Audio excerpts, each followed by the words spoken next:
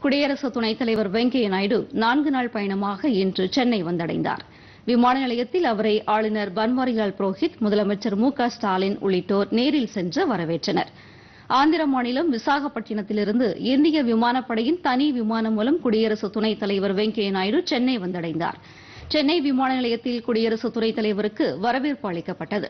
ஆளுநர் பன்வாரிலால் புரோஹித் முதலமைச்சர் மு க ஸ்டாலின் அமைச்சர்கள் Duraimurugan K. K. S. S. R. Ramachandran Thamo Anbarasan தலைமைச் செயலாளர் வே. இறையன்பு காவல்துறை டிஜிபி திரிபாதி மக்களவை உறுப்பினர் டி. ஆர். பாலு மாநிலங்களவை உறுப்பினர் டி. கே. எஸ். இளங்கோவன் உள்ளிட்டோர் குடியரசு துணைத் தலைவரை வரவேற்றனர்.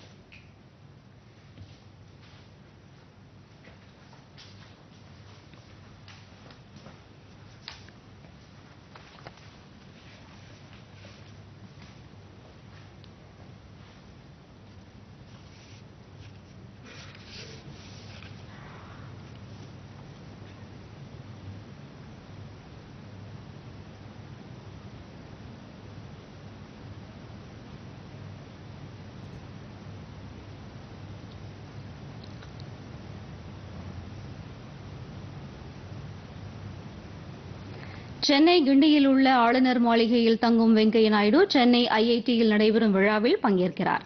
சென்னையில் மேலும் ஓரிரு நிகழ்ச்சிகளில் பங்கேற்கும் அவர் ஜூலை இரண்டாம் தேதி சென்னையிலிருந்து புறப்பட்டு ஹைதராபாத் செல்ல இருப்பதாக தகவல்கள் வெளியாகியுள்ளன.